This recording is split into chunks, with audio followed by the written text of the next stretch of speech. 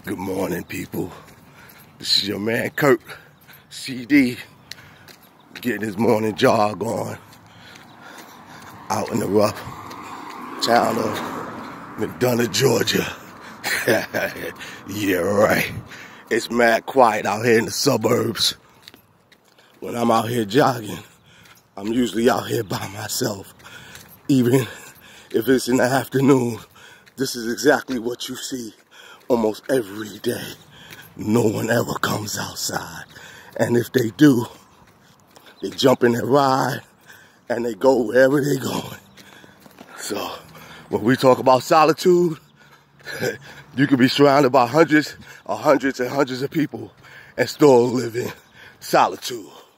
Like I. Well, I'm gonna continue my jog, get my groove on, and may you and yours have a blessed day. And make sure you move something. Peace.